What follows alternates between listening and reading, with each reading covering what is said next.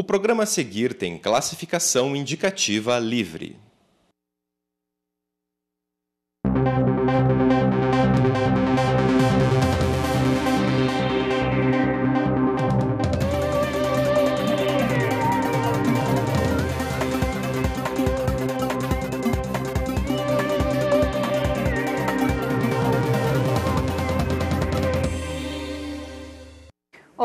Seja bem-vindo ao Plural. Já faz quase dois meses que a chamada PEC das domésticas foi aprovada.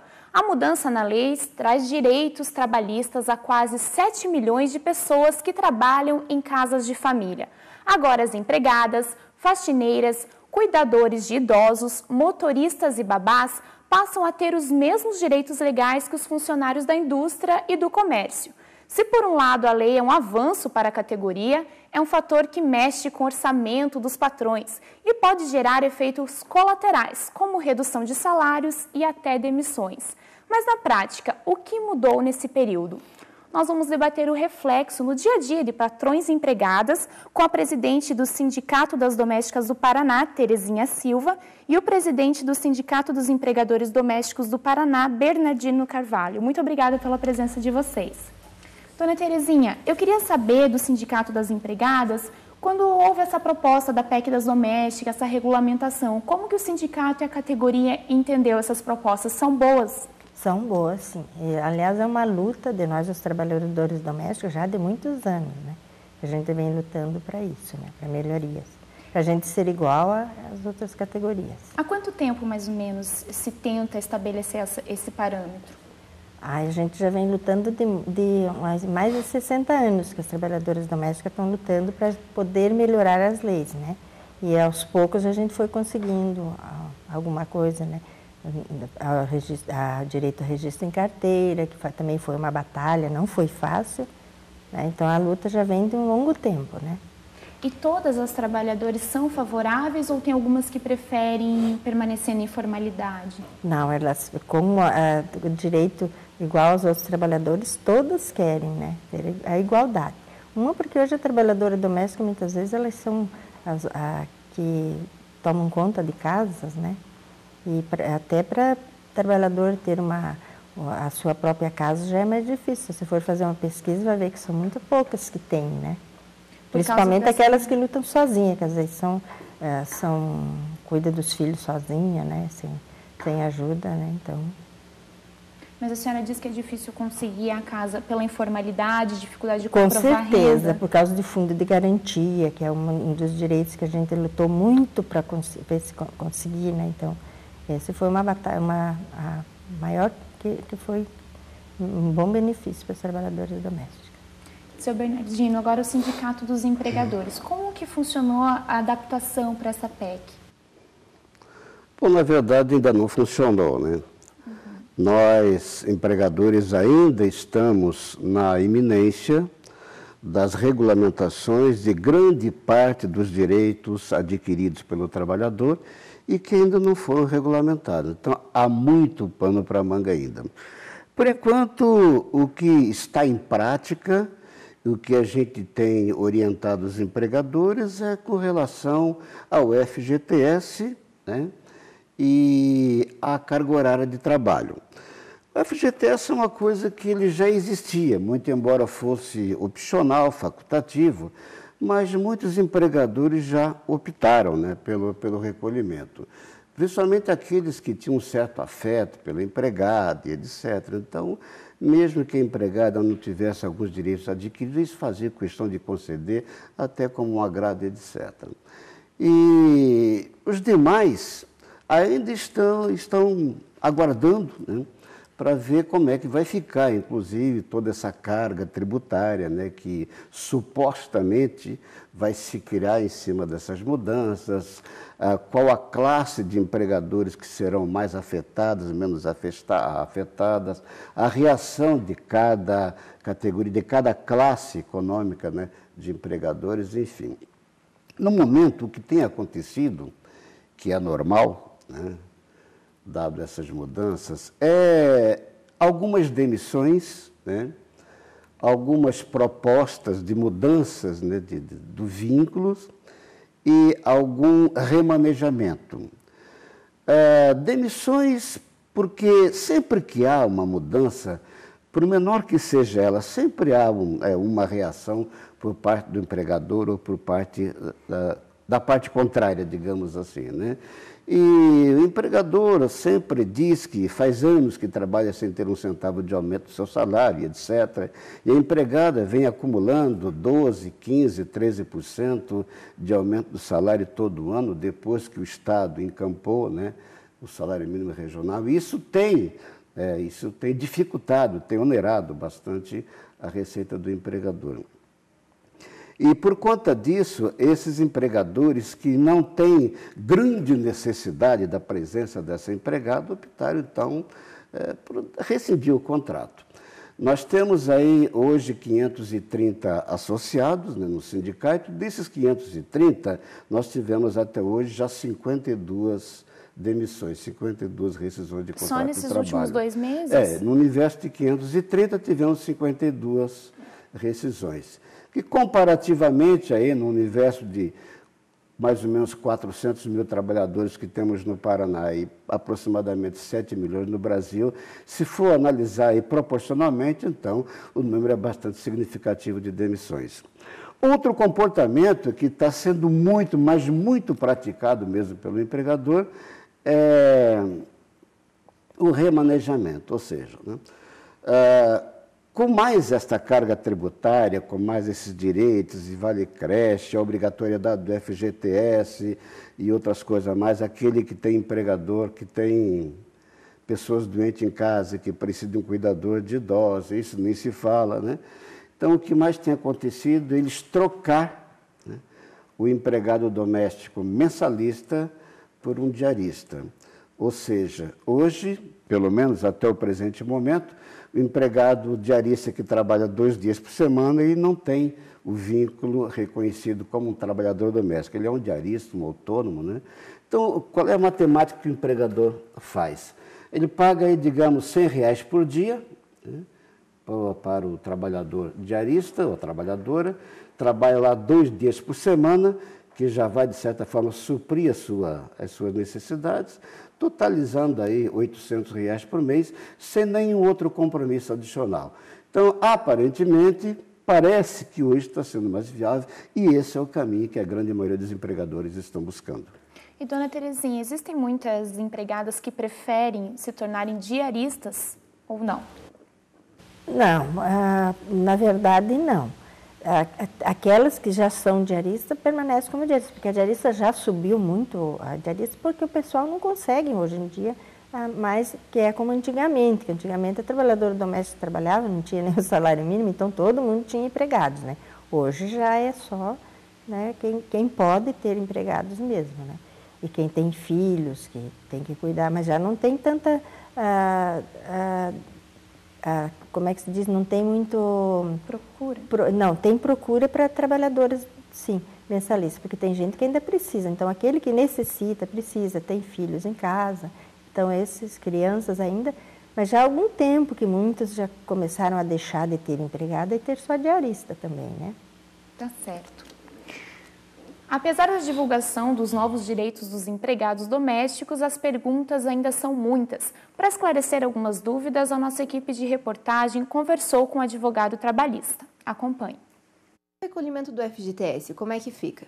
Antes você já tinha a opção de recolher ou não o fundo de garantia. Se você já tinha a opção de recolher o fundo de garantia, em tese, o empregador doméstico poderia começar a recolher, então, agora, a partir do momento que se tornou obrigatório, ele poderia começar a recolher agora o fundo de garantia.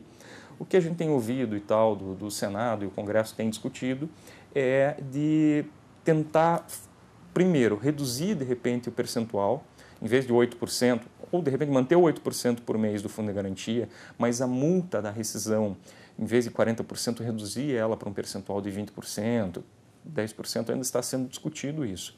E a ideia também é facilitar a forma de recolhimento pelo empregador doméstico. A gente tem que lembrar que o empregador doméstico não é uma empresa. As melhorias incluem as diaristas? Não, as diaristas é uma situação diferente da empregada doméstica. Aquela diarista que vai duas vezes só na semana na casa, recebe por dia trabalhado, não tem um dia fixo certinho, às vezes, para ir trabalhar, ela é considerada diarista, ela é uma trabalhadora autônoma, ela não está, não tem obrigatoriedade de, de registro da carteira de trabalho, não tem obrigatoriedade aí de pagamento dos direitos, ela não tem esses direitos trabalhistas. É um trabalhador autônomo que, que ele comanda o seu trabalho.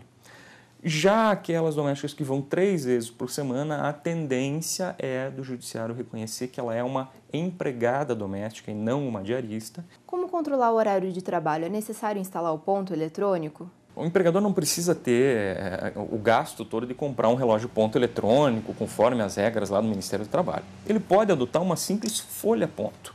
Requisitos que ele deve colocar nesse controle: especificar o nome do empregado, o nome do empregador, a que mês se refere aquele registro e ele coloca lá os 30 dias do mês. Então, ele vai colocar, vamos dizer, uma linha para cada dia e uma coluna para entrada, uma coluna para saída do intervalo, uma coluna para o retorno do intervalo e uma coluna para saída no final do dia. E como calcular a hora extra? O padrão é trabalhar suas 8 horas diárias e 44 semanais. Adotando esse padrão, é, chegando ao final do mês, o, mês uh, o cálculo é de 220 horas trabalhadas, né, já incluído aí o, o, repouso semanal remunerado. O que o empregador vai ter que fazer? Ele vai calcular quantas horas extras ele fez, é, pega o valor do salário, divide por 220, ele vai ter o valor da hora trabalhada. Sobre esse valor da hora trabalhada, ele adiciona um, um, acréscimo de 50%, que é o que prevê a Constituição, e daí calcula quantas horas extras ele trabalhou, vai é, multiplicar ali por, vamos dizer, o, valor dessa hora com, com um adicional, para chegar ao montante de horas extras devidos no mês. Aí, sobre esse montante que ele está pagando para o empregado, é que vai incidir os 8% do fundo de garantia. O fundo de garantia ele não incide só sobre o salário base. Né? Teve acréscimo de hora extra e tudo, isso vai refletir também no valor que ele vai recolher para o fundo de garantia, para a própria Previdência Social. Alguns patrões não podem arcar com a nova lei.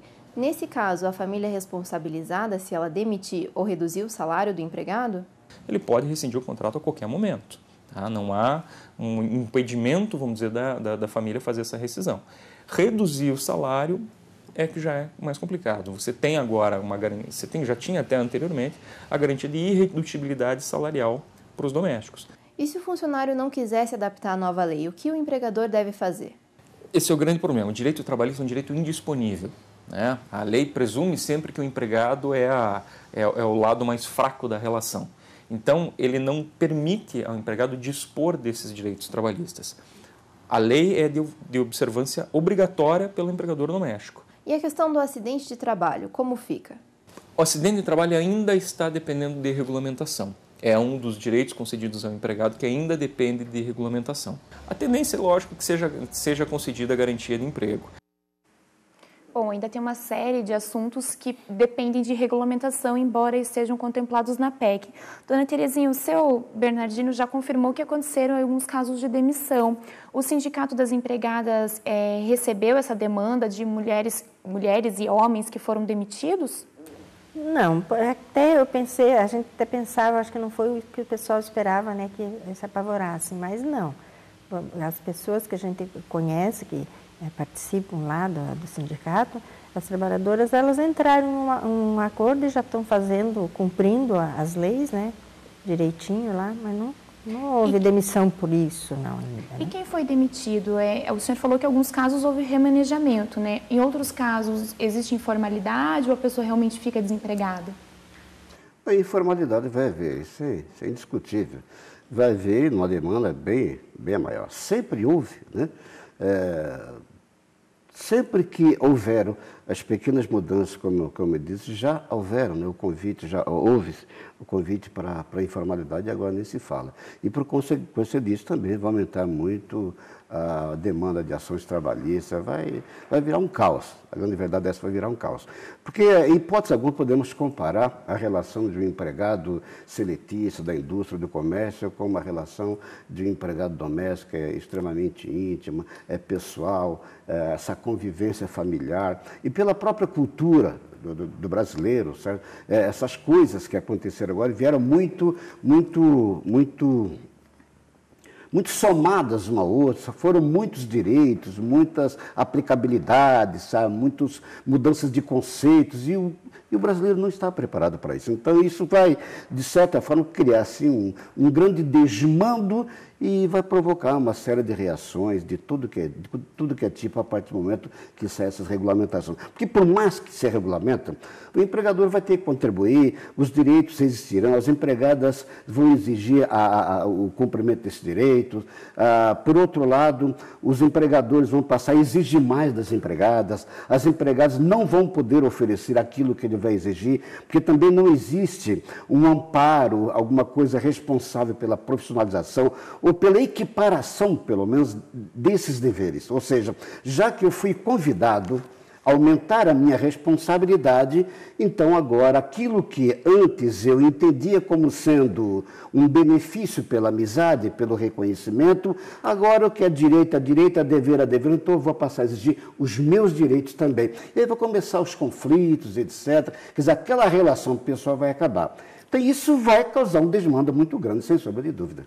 A gente já volta a falar sobre esse assunto. Nós fazemos uma pausa. Uma é, pausa, desculpa. Uma pausa.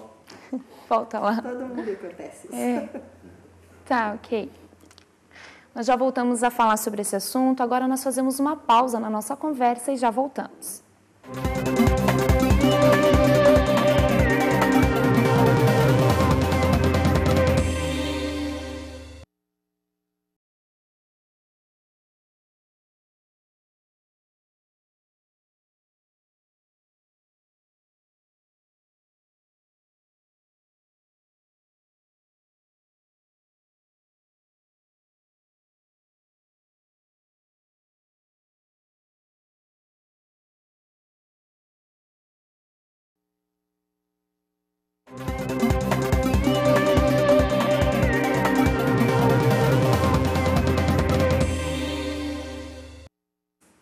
Estamos de volta. O assunto do plural de hoje são as mudanças provocadas no dia a dia de patrões empregadas depois da aprovação da PEC das domésticas.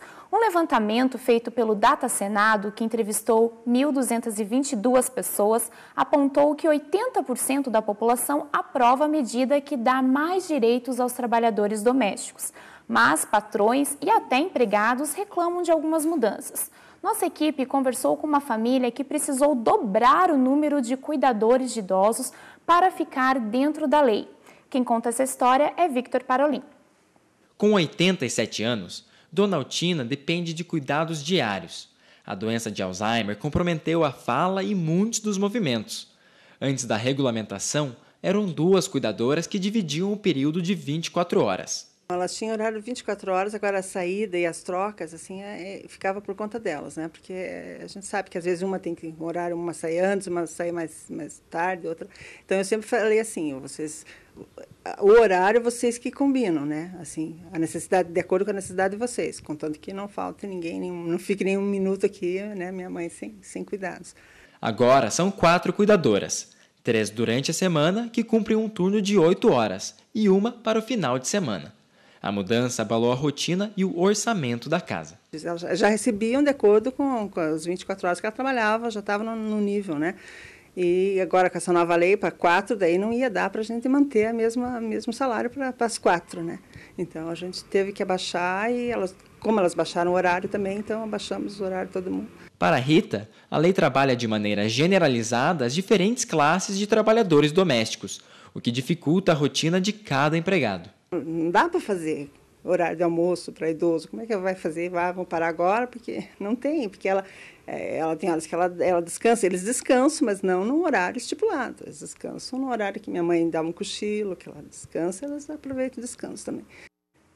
Bom, e quem participa nesse segundo bloco com a gente é o doutor Guilherme Nunes, advogado do Sindicato dos Empregadores. Guilherme, ela acabou de falar ali sobre a questão dos intervalos e horário de almoço. Fica um pouco complicado no ambiente familiar lidar com isso. O que, que a lei estipula e o que, que o sindicato orienta? Então, Esther, exatamente. A lei, por enquanto, como até a senhora comentou no momento da, da, da entrevista, ela estipula a jornada de 8 horas diárias e as 44 horas semanais. Né? Então, por enquanto, e, essa jornada ela não, não está atendendo a todos os trabalhadores. Né? Ela não, não supra a necessidade de casos pontuais. Especificamente, o maior problema que nós encontramos no sindicato são o caso dos cuidadores de idosos, que usualmente o idoso precisa de ajuda 24 horas por dia. Então, é, por enquanto, segundo a legislação, o que nós ah, indicamos e conversamos e instruímos os associados é manter dentro dessas oito horas diárias. Qualquer hora trabalhada a mais seria uma hora, a hora extra, né? A pessoa deveria ser remunerada com adicional de 50%, até como o advogado que falou há pouco já mencionou. Então, o que a gente precisa hoje é que essa regulamentação seja feita o quanto antes. Essa regulamentação ela vai fazer o que? Ela vai dar ao sindicato, ela vai atribuir um pouco mais de poder ao sindicato para que ele possa fazer o quê? Uma norma ou uma convenção coletiva. Né? A emenda constitucional, ela, ela já deu validade, ela já falou, olha, as normas coletivas e as convenções coletivas elas já estão em vigência, devem ser reconhecidas, em tese tem uma vigência imediata, mas de qualquer maneira ainda o Ministério do Trabalho e Emprego, o Ministério Público do Trabalho, as associações dos magistrados, mesmo a Ordem dos Advogados do Brasil, ainda existe um questionamento sobre o reconhecimento dessa categoria, da categoria dos empregadores, dos empregados domésticos. Por quê? Porque ela não tem fins lucrativos, né? O patrão do empregado doméstico ele não tem ele não busca lucro em cima do trabalho. Então, precisa que, que o mundo jurídico reconheça essa categoria para dar o quê? Um pouco mais de força para os sindicatos, tanto patronal quanto do trabalhador, para que eles possam celebrar as convenções coletivas. E nessa convenção coletiva vai dizer, olha, para o cuidador de idoso vai ser possível você estipular um, uma jornada diferente, por exemplo, um 12 por 36, enfim, uma 24 por 48. Você vai poder fazer o intervalo do almoço apenas de, de 30 minutos e sair mais cedo. Enfim, é, essa flexibilização que falta hoje e que está enrijecida precisa ser feita e a própria Constituição agora fala através das, dos acordos e convenções coletivas que podem dar essa flexibilidade para o contrato de trabalho. Então, o que precisa hoje, o nosso entendimento é que a categoria seja reconhecida por todo e qualquer órgão público, por pelo mundo jurídico em si, para que possa dar poder aos sindicatos para que eles possam fazer essas convenções coletivas. Dona Terezinha, nesse caso até da reportagem, em muitos casos, o salário, dos, a remuneração recebida pelos empregados foi reduzida né, depois da PEC, por causa das jornadas, às vezes trabalhava mais tempo e recebia mais. É, como que fica essa situação? Não tem empregadores que reclamam até porque antes recebiam mais? É que daí ela vai trabalhar menos horas, eu acho, né? Porque para o idoso, ali no caso, para cuidadores de idosos, ela vai ter que ter três pessoas, né? Pois três é, aumentou o né? custo para o empregador. empregador né? Mas e para a empregada, não ficou difícil? Às vezes ela dependia daquele valor a mais ou a maioria está aceitando a lei por causa dos benefícios? É que por enquanto a gente não, lá no nosso sindicato ainda a gente não recebeu nenhuma cuidadora de idosos que tivesse tido esse, esse problema de não poder, né? Que essa ali no caso, ela depende de, de, de pessoa durante o dia e a noite, né? Uhum. Mas por enquanto ainda não teve ninguém assim, né? Só que elas têm dificuldade realmente na hora do, do almoço, né? De, de parar para o almoço, porque daí a pessoa idosa não, né? Tá certo. E o sindicato existe há praticamente 25 anos, né?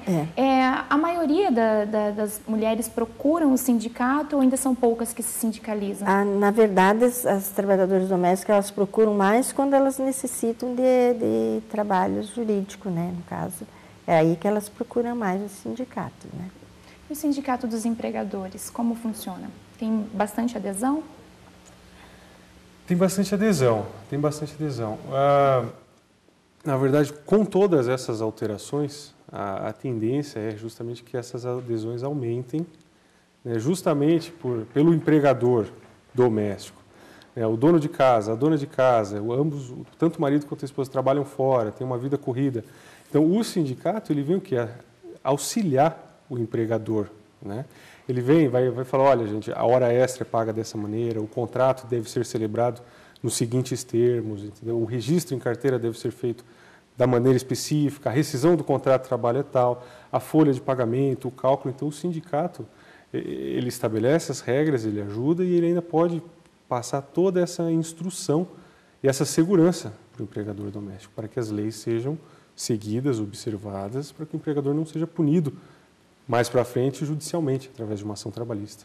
E vocês têm um levantamento assim de, de é, do nível de informalidade que existe? Porque muita gente provavelmente não registra os empregados, não procura o sindicato, né? É, tem como a gente mensurar isso? É, inicialmente nós não temos nenhum número, nenhum número oficial sobre eh, essa informalidade, mas como já foi dito desde o começo, a informalidade ela alguns empregados até preferem a informalidade para não sofrerem aqueles descontos, né? Nós já tivemos casos lá no sindicato onde falaram, olha, vamos encerrar o contrato de trabalho, a pessoa vai continuar trabalhando, vai continuar prestando serviço, mas ela não vai sofrer os descontos que, que são devidos. Então, ela, ela, ela busca esse, essa informalidade até em função de ter aquele lucro a mais, né? aquele percentual Sim. a mais no salário no final do mês. Qual é a orientação do sindicato para esses casos recentes de famílias que não vão conseguir arcar, às vezes por causa da jornada, justamente precisam contratar mais empregados, principalmente no caso de cuidadores de idosos e babás, né? Uhum. É, qual é a orientação do sindicato? Porque essas pessoas dependem de alguém, não, não pode ser uma diarista, né? Um cuidado sim, diário. Sim, Qual que é a orientação? Sim. Porque a, a, o valor pode até dobrar, né? Como foi o caso da reportagem. Pode até dobrar. A orientação, por enquanto, antes, enquanto não sai essa regulamentação, é que seja como o caso da reportagem. Tente ao máximo fazer, contratar mais uma pessoa ou duas. Se não for possível, não tiver jeito, fazer um revezamento de, de pessoas que são os, a, o diarista, né? Então você tem lá dois fixos e tem mais quatro ou cinco pessoas que são diaristas, você faz um revezamento entre elas, para que você lá na frente não sofra nenhum tipo de, de ação trabalhista, um questionamento assim.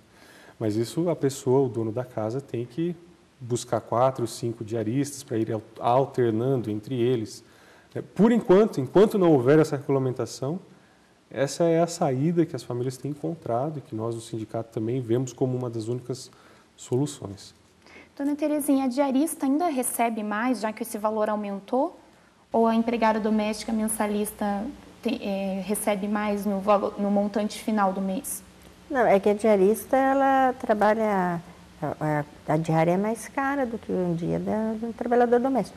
Só que hoje, com a, as, como as trabalhadoras vão preferir trabalhar mais uh, como empregada realmente, que elas vão ter os direitos também, né?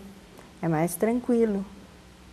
A diarista é aquela que recebe todos os dias. É, se ela né? conseguir cinco famílias, digamos, né, e consiga trabalhar todos os dias, no fim do mês ela vai receber mais que uma empregada registrada em carteira. É, mas também ela tem aquele problema. O, o, dia que a patroa viaja, ela não tem segurança nenhuma, né? Ela vai, vai, vai ficar, perder o dia dela, porque ninguém vai ficar pagando, diarista, né? Então, tem uma época que quando os, os viajam, ela já perde os seus No fim dias, das né? contas, a maioria dá, dá, é, No final, né?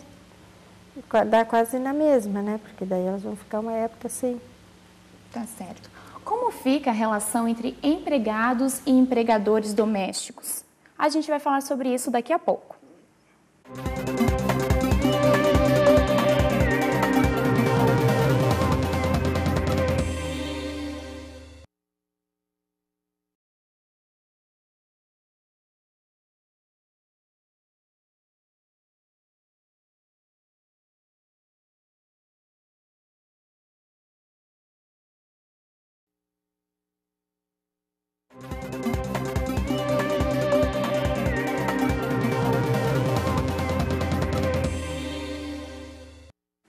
Nem sempre o trabalho doméstico recebeu o respeito e o reconhecimento financeiro. A função já foi exercida pelas escravas, servas, mucamas e criadas. Naquela época, a remuneração e muitas vezes o respeito não existiam. Ainda hoje, a função é, em geral, exercida por pessoas com baixo grau de instrução e os salários nem sempre são justos. Ao mesmo tempo em que a classe foi negligenciada pelas leis, a relação entre patrão e empregado se torna praticamente familiar. Mulheres que educam os filhos da patroa e criam uma relação rara de confiança entre outras profissões. Dona Terezinha, a senhora começou a trabalhar como doméstica aos 12 anos de idade, né? Hoje isso já se considera totalmente fora da lei. Como que a senhora entrou nessa profissão? Eu entrei como babá, né, para cuidar de crianças, né? Tá. E depois eh, foi, eh, como diz, está pegando uma idade um, pouco mais, né? E daí passar para outros serviços também, né? Que serviços a senhora chegou a desempenhar? Ah, de uma casa, todos os serviços, desde babá até. Só me, não fui cuidadora de, de idosos, isso não, mas cuidei muito de criança, né? Uhum. E a senhora cuidava da casa inteira sozinha, lavava, é, cozinhava? Da, é, da casa inteira. Depois, em outro trabalho, eu só trabalhava mais na cozinha, né? Foram quase Cozinheira. 40, quase 50 anos quase nessa 50 profissão. anos de profissão. Em né? quantas casas, mais ou menos, a senhora passou? Ah, nem tem mais conta, faz tanto Mudou tempo, bastante. né? Mudei, é, a gente vai mudando, né? Uhum. E a sua rotina, como era? Ah, era. No início a gente não tinha ó, ó, carga horária, né? E dormia no emprego, então trabalhava muitas horas no, no dia, né? Muito depois mais de senhora- 12 horas, Aham. né? A senhora tinha sua própria família, né? Como que a senhora conciliava isso? Não, é, que- é que eu tive uma filha só, daí, na verdade, né? Então eu trabalhei nas, nas casas que eu trabalhava, eu trabalhava junto com ela, né? Ela ficava comigo também no trabalho. E a senhora se apegou a essas famílias onde a senhora trabalhou? Com certeza, eu visito até hoje. É, né? principalmente as crianças. É, principalmente as crianças, que hoje já estão tudo, já são pais e mães, né? Mas eu visito ainda eles, tá? Esse é um lado bastante prazeroso do, É, a do primeira trabalho. que eu, quando, que eu cuidei lá, que eu fui babá, hoje eu acho que ela já é até avó. Nossa, É. faz tempo Faz então. tempo. E, seu Beto, o senhor também falou que essa relação entre empregador e empregado é uma relação familiar, né? Isso funciona para todo mundo ou nem sempre? Não. Existem muitas exceções. Essa relação familiar ela se deu, eu diria que até nos idos de 2000, 1998, 99 por aí. Ou seja, a partir da Constituição de 88, quando se estabeleceu as primeiras conquistas para o trabalhador doméstico, a relação já começou a mudar. O que antes parecia uma coisa apenas familiar, de amizade, esta empregada jamais vai me dar problema, que nunca.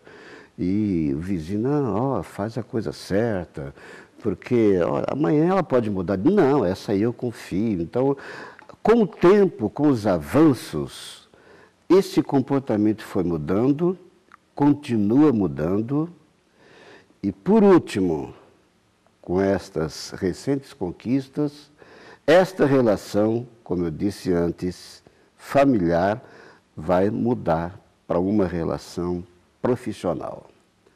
É a exigência do cumprimento do seu dever, da sua obrigação, porque eu também estou cumprindo com a minha parte, estou cumprindo com os meus deveres e que, diga-se de passagem, são muito bem pagos pelo que fazem.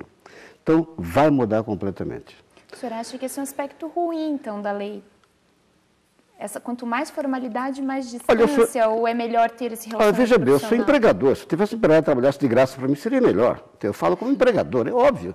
Se tivesse aí ganhando 500, 400 reais por mês, para mim seria melhor. Mas quando, quando eu falo que é demais, é tendo em vista o próprio poder aquisitivo do, do cidadão da classe média B, C, D que é a classe que mais emprega esse tipo de mão de obra. E esta classe que é mais afetada diretamente. Por que é mais afetada diretamente? Porque ambos precisam trabalhar fora. O marido e a mulher precisam trabalhar fora, porque a despesa dele já está contabilizado o salário dos dois. Daí a importância da presença de alguém que cuide da casa, que cuide da criança, que dê banho na criança, que leve para a escola, que busque na escola, etc. E tal. A partir do momento que o ganho desta contratada começa a se aproximar do salário da patroa, é claro que vai haver uma mudança. Certo? Ou, é ou mandar embora e pegar uma, é, né? ou mandar embora e pegar uma outra em outra condição, ou ficar sem empregada, deixar de trabalhar, porque não, não tem mais graça eu trabalhar, ganhar 1.300, 1.400, 1.500 reais por mês, se a minha empregada já está ganhando isso. Como a dona Terezinha falou ainda há pouco, um outro detalhe muito importante é que a empregada era escravizada. Tá? Não, sempre foi. Isso em todos os setores existe alguns que os trabalhadores são sim escravizados, porque isso depende muito do ponto de vista de cada empregador. Né? Agora, é bom que se frise que hoje nós temos empregada que ganha 2.400 reais por mês, registrada. Né? E nós temos lá oferta de emprego para 1.300, 1.400 e 1.600 e não encontramos empregadas. E qual que é o perfil do empregador que contrata essas pessoas? É classe A? Classe A. Classe A. É, esse salário, 2.400, até mais, até mais. Geralmente são governantas. É, tem que ter carteira de habilitação, né, dirigir, para é, cuida né, dos demais empregados da casa, que tem três, quatro. Nós temos lá empregador que tem seis empregados seis empregados domésticos em casa. Então, esse tem, naturalmente, uma governanta, um mordomo, etc. Então, e aí que está o alto salário. Então, já, já não, não, se pode mal usar, usar hoje em dia esse termo desprezível, que o trabalhador doméstico é um escravo, é um negro, é aquele que não teve acesso à escola, etc. Não, não, não, que nada. Depende. Hoje, hoje se a pessoa se profissionalizar, ela ganha um salário melhor até do que muitos portadores de curso superior, como tem filas quilométricas para trabalhar de Gari em São Paulo, portadores de curso superior. Né? Tá certo. Para ilustrar melhor a nossa conversa, nós vamos assistir a um trecho de um filme chamado The Help, que mostra a realidade de empregadas domésticas nos anos 60, nos Estados Unidos. Acompanhe.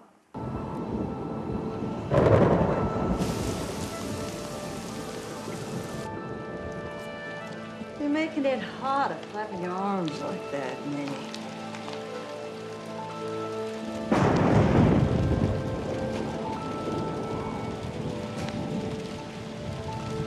Look how big the waves are, Minnie. Let's go to the beach.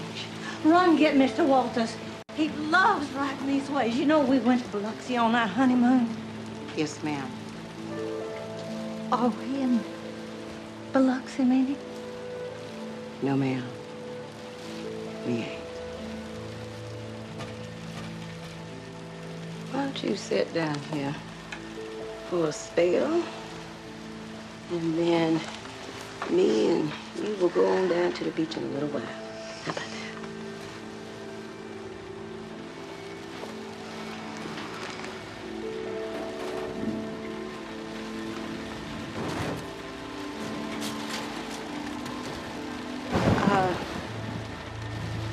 Miss Hilly. Mm-hmm. Never mind. You go on ahead and say inside bath, Minnie. It's all right. Oh, for crying out loud, it's just a little rain. She can go on up and get an umbrella from William's study. I believe she was working for me before you dragged us both here.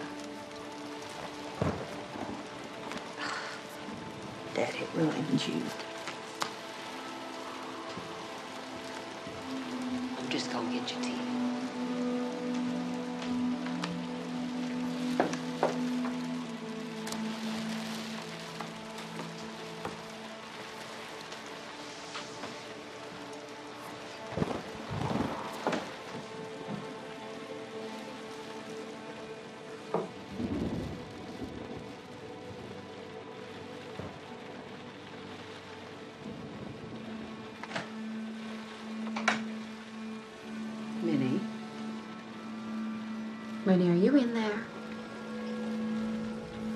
Yes, ma'am. And just what are you doing?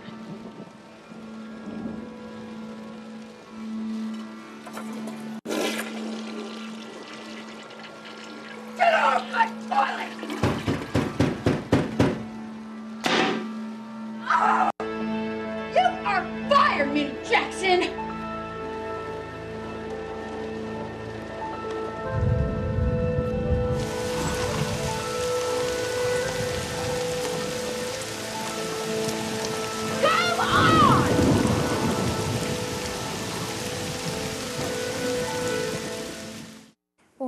é baseado em fatos reais, claro que é um extremo, né, que aconteceu nos Estados Unidos há quase 60 anos atrás.